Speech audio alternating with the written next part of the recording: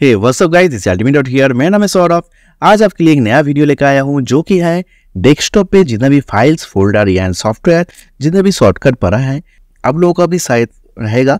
तो आप चाहते हो इसको कैसे हाइट किया जाए, वही दिखाऊँगा इस वीडियो पे।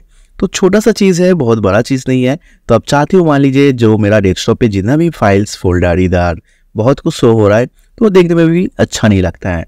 तो हम लोग क्या कर सकते हैं, इसको हाइट करके यूज़ कर सकते हैं। जैसे वो क्या करना है? आपको सिंपली राइट क्लिक करना है आपका डेस्कटॉप पे देन व्यू पे जाना है देन इधर पे ऑप्शन है जो कि है सो डेस्कटॉप आइकन तो इधर पे चेक टिक मार्क है, आपको इसको करना है क्लिक अब इसीलिए देख पाओगे इधर पे पूरा का पूरा जितना भी मेरा आइकॉन था, सब कुछ चला गया है। आइकॉन फाइल्स फोल्डर जो जो था तो मैं इसको यूज़ कर सकता हूँ। एंड क्लीन भी रह रहा है, देखने में भी अच्छा लग रहा है। जब मेरा नीट होगा तो मैं क्या करूँगा? राइट क्लिक करूँगा व्यू करूँगा देन शो पे क्लिक कर दूँगा। देन फिर से वापस आ जाएगा। एडिटिस जहाँ पे जो जो चीज़ था।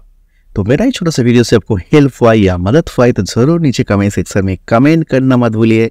और आप मेरे चैनल पे नए हैं तो ज़रूर सब्सक्राइब करना मत भूलिए। Thanks for watching don't forget to subscribe